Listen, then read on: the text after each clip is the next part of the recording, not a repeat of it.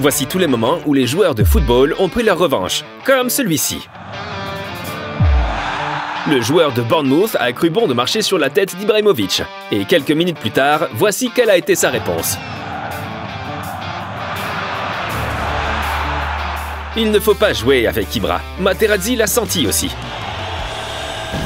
Mais avant de vous le montrer, Van Nistelrooy. Il avait un message très spécial pour ce joueur d'Andorre. En 2005, Nistelrooy a joué avec les Pays-Bas contre la petite nation du football. Il y a eu un penalty.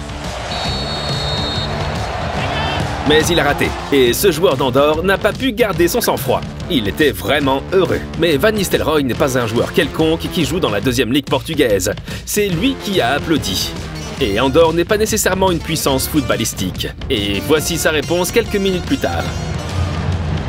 Helemaal vrij, maak het af. Van Nistelrooy. Het is in de 89 minuut alsnog 4-0. J'aime vraiment son air surpris. Mais nous avons beaucoup plus, par exemple ce moment où non seulement le joueur s'est vengé, mais aussi toute l'équipe.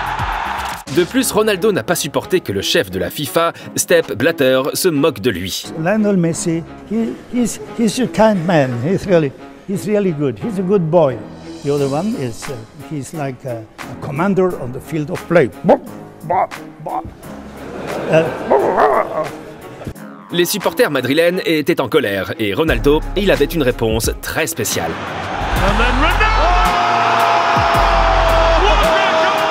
Trois buts et ensuite le salut en tant que commandant. L'adversaire de Dybala l'a également agacé lors d'un penalty. Ah, comme les petits enfants. Mais il a gardé tout son sang-froid. Et puis... Je me demande ce que Zlatan aurait fait ici. Et maintenant, l'une des histoires les plus drôles de ces dernières années. Lorsque le gardien de but Bono a réveillé la bête en Hollande. Dortmund et Séville se sont rencontrés en huitième de finale de la Ligue des Champions en 2021. Haaland tombe à la suite d'une faute et l'arbitre siffle un penalty. Bono a sauvé deux fois et n'a pas pu s'empêcher de se moquer de Haaland. Mais le bonheur a été de courte durée. Bono n'était pas sur la ligne. Le penalty a dû être retenté. Er? To be honest, I was a little bit on the second one. When he was screaming in my face on the, after the first one, I was thinking, oh, it would be even better to score another goal. And uh, yeah, that's what happened, so it was nice. Sadio Mané, lui, il peut donner un coup de poing. Je veux dire que Sané peut vous dire une chose ou deux à ce sujet. Lorsque Mané jouait encore pour Liverpool, l'équipe a affronté le Bayern Munich. Au cours de ce match, il a fait connaissance de Joshua Kimmich. Mais au match retour, Mané a montré à la défense du Bayern qui était le patron.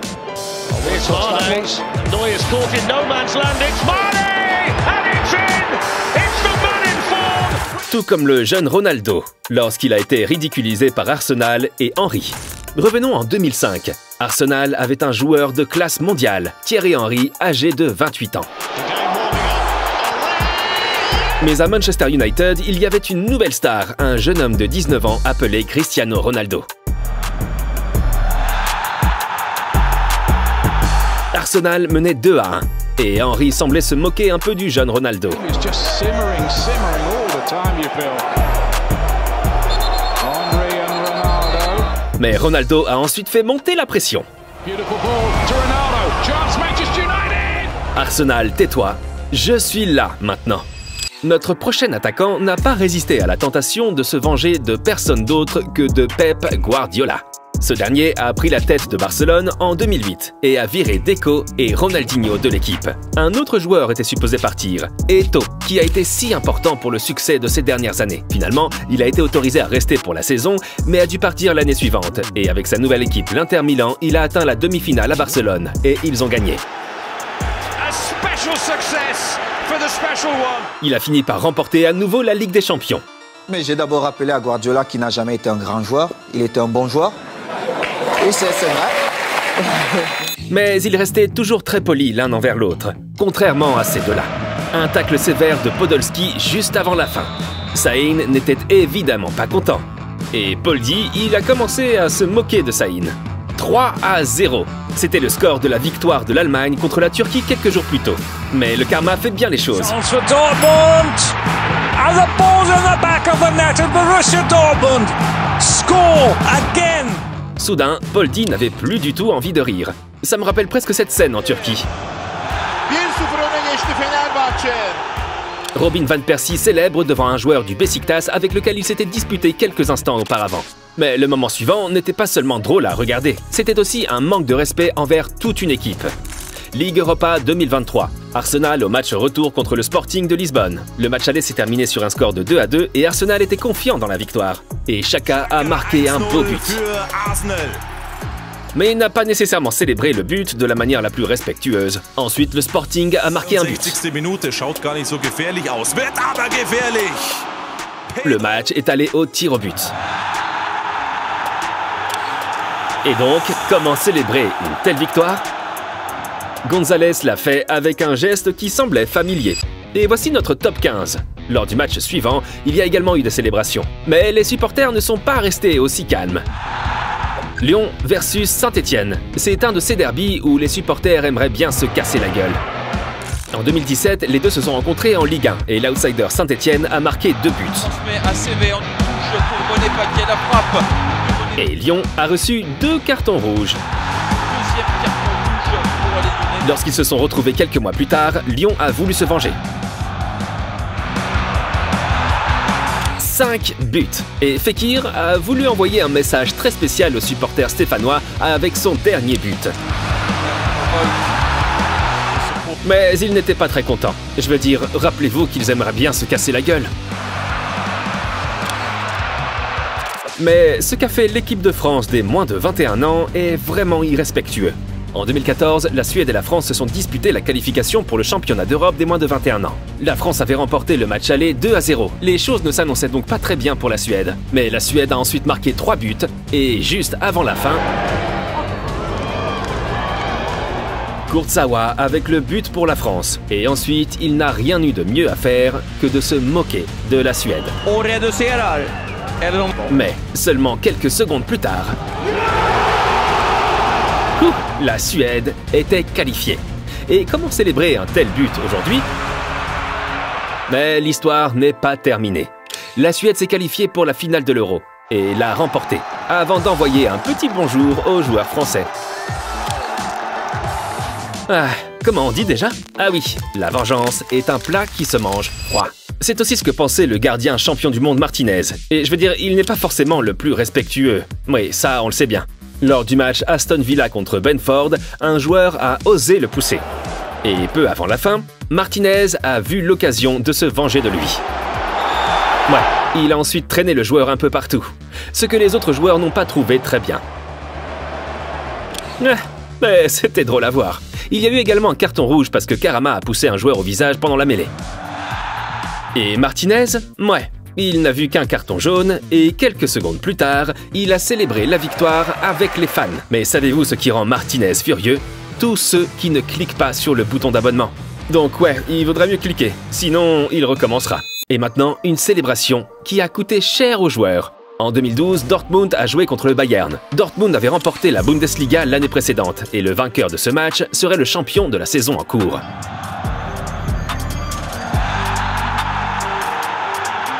Dortmund avec le 1 à 0 de Lewandowski. Mais ensuite...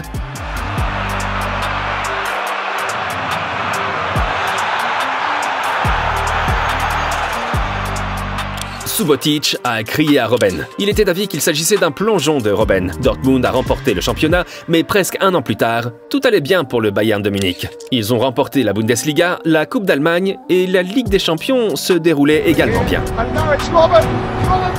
Robben avec le but de la victoire contre Dortmund en finale. Et Boateng a fêté cela d'une manière vraiment très spéciale.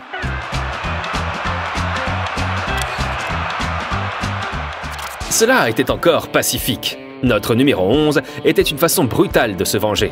Nous avons déjà parlé de ce moment dans notre vidéo sur les fautes les plus brutales. Ce fan a insulté Cantona et lui a dit d'aller se faire voir et de retourner en France. L'interview qu'il a donnée ensuite était presque aussi bizarre. When the seagulls follow the trawler, it's because they think sardines will be thrown into the sea. Thank you. Attendez, quoi?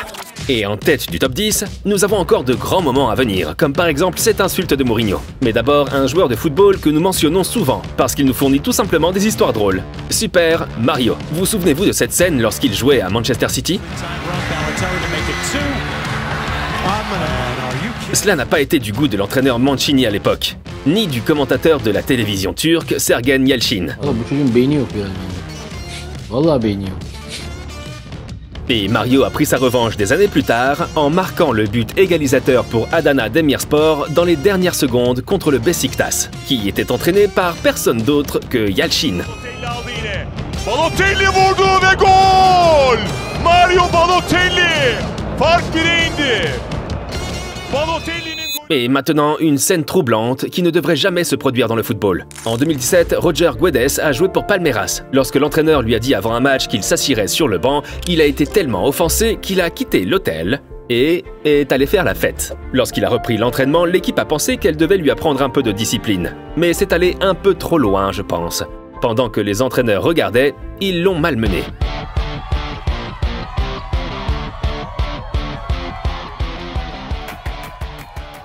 Et les gars, vous ne me prenez pas, l'attitude de Guedes n'est pas acceptable. On ne laisse pas tomber son équipe juste parce qu'on est sur le banc de touche. Mais la réaction de l'équipe n'est pas acceptable non plus. Peu de temps après, il a quitté le club.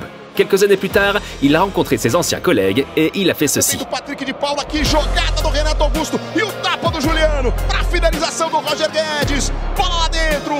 Deux buts, il a gagné le match. Ah, la vengeance peut être si douce. Cristiano Ronaldo pensait la même chose. Il y a des fans qui essaient toujours de l'embêter. Ce fut également le cas en 2017 pour le match entre l'Arménie et le Portugal. Ah, le bon vieux encouragement Messi. Mais Ronaldo avec le 1 à 1, Ronaldo avec le 2 à 1, et puis la grande performance de Ronaldo. Et soudainement, il n'y avait plus personne pour crier Messi. Mourinho sait aussi taquiner les joueurs. En 2004, le grand choc entre son Chelsea et le champion en titre Arsenal en Première Ligue.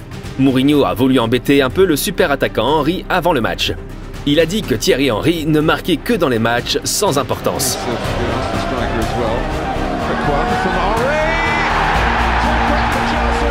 Well, like usual, like everyone says, I scored. I always scored in small games, so uh, I think today must have been a small game again. Passons maintenant à l'un des moments les plus célèbres de l'histoire du football. Une faute grossière célèbre avec une histoire ancienne. Le père de Haaland a joué pour Leicester City et a affronté United avec Roy Keane. Les deux hommes ont eu de vives altercations sur le terrain. Mais à ce moment-là, Keane s'est gravement blessé et Haaland lui a crié de se lever. Keane n'était pas vraiment non plus un ours en peluche sur le terrain. Alors, il a fait ça quand les deux hommes se sont retrouvés 4 ans après l'accident.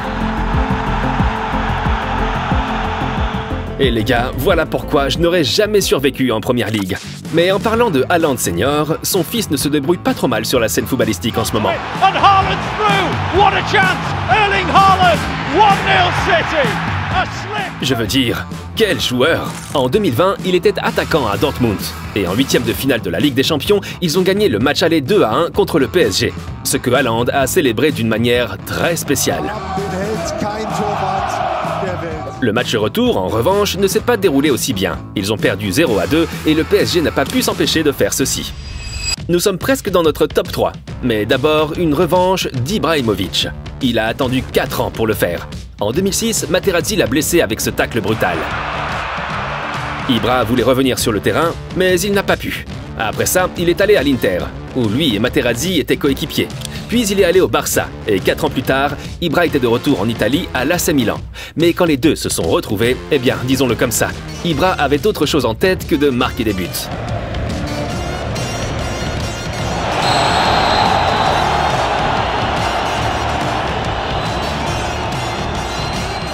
Zidane n'a sans doute pas pu s'empêcher de sourire à ce sujet. Nous sommes déjà sur le podium, et notre troisième place, oui, ce n'était il n'y a pas si longtemps.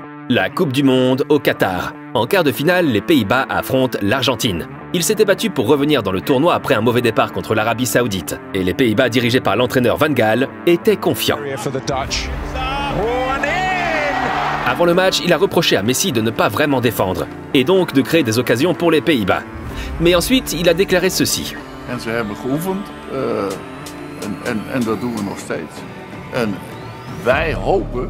Penalties. Mais Messi et l'Argentine ont commencé fort et ont marqué deux buts. Les Pays-Bas se sont battus pour revenir et la discussion s'est enflammée. Il y a eu les tirs au but. Les Pays-Bas avaient pratiqué cela ces dernières années et avaient donc un petit avantage, selon Van Gaal. Mais les Argentins semblent avoir pratiqué cela à l'entraînement également. I heard uh, Van Gaal saying uh, we got an advantage in penalties. Uh, if we go to penalties, we win. I think he needs to keep his mouth shut. La médaille d'argent va à ces deux têtes brûlées, où un joueur a même été banni pour 8 matchs. Et il s'agit de nul autre que Luis Suarez. Et non, cela n'a rien à voir avec ses morsures. En 2011, il a joué pour Liverpool, contre United. On the pitch, I said to the referee, Did you hear what he just said? He called me with the N-word. Suarez a ensuite été suspendu pour 8 matchs. Quand il est revenu, il a affronté Manchester à nouveau. Et puis, le scandale avant le match. Il n'a pas serré la main d'Evra. Yeah.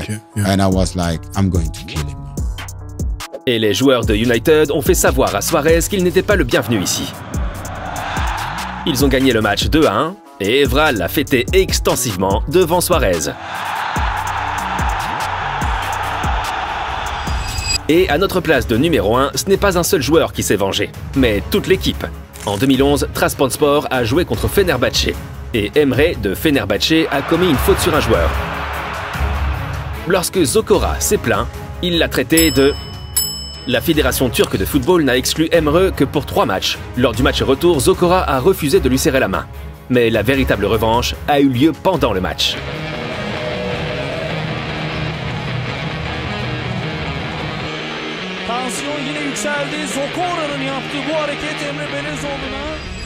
Et si vous vous êtes toujours demandé quels étaient les moments les plus chauds du football, regardez cette vidéo.